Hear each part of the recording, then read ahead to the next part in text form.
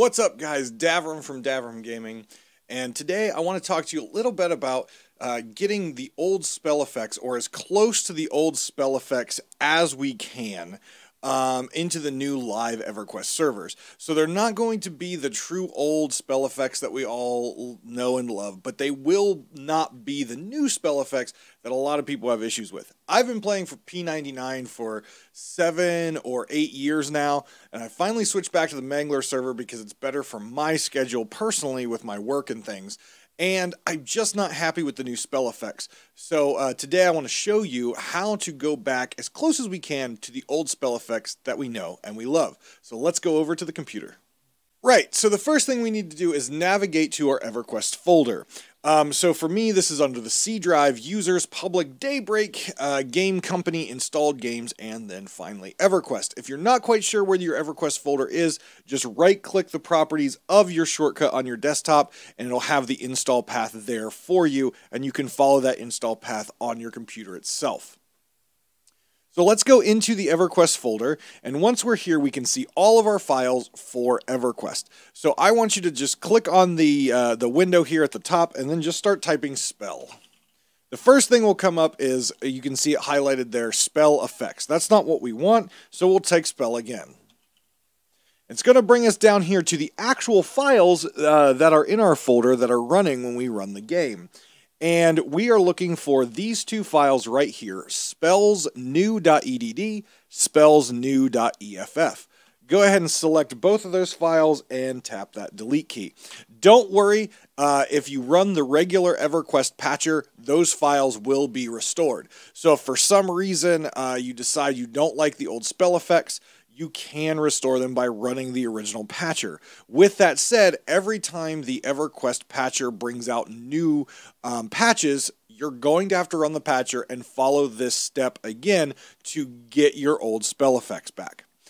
So the last thing we need to do here before we leave the folder is we need to find the eqgame.exe. So we go up here to the EQ section. And again, if you're not too, uh, too, too computer savvy and you don't want to do all the typing, you can do what I'm doing right here and you'll be able to find it here. Uh, that's the icon. We can see here by the file type icon, we're actually looking for... Um, we're actually looking for the, the game file itself, uh, which is going to look a lot like it, but it'll have kind of the old logo here, and you'll see it says application.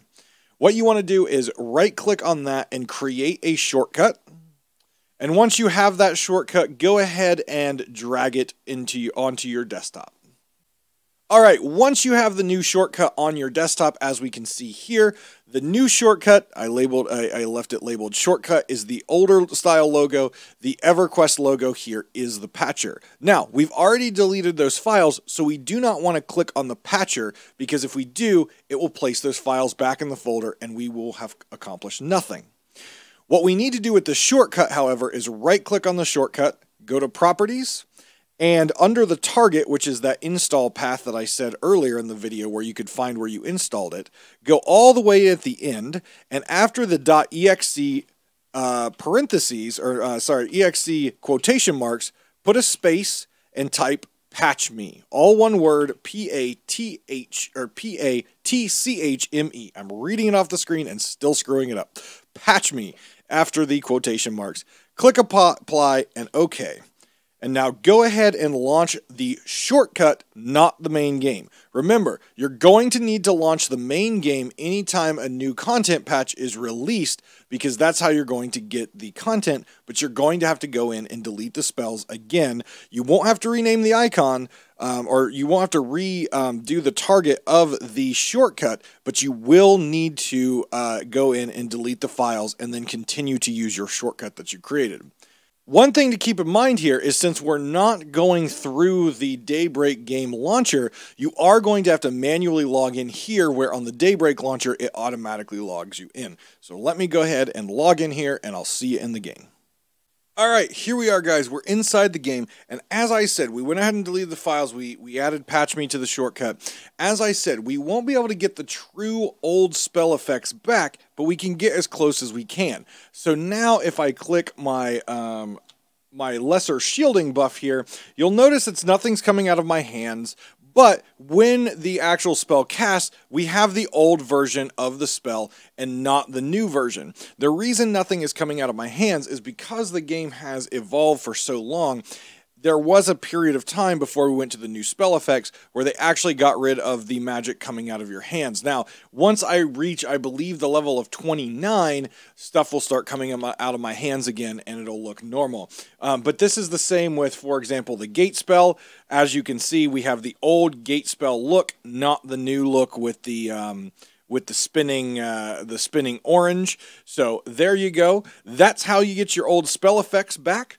Um, we are going to do a couple more of these videos down the road. There is a way to get the old spell gems back and things like that. So I'm going to show you how to do that in a future video. So please do subscribe.